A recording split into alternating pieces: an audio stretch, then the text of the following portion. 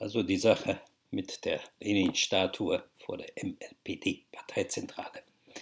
Ähm, wollte ich vorschlagen, dass man es vielleicht nicht zu verkrampft sieht. Ich habe hier auf der Website einen Vorschlag zur Güte unterbreitet.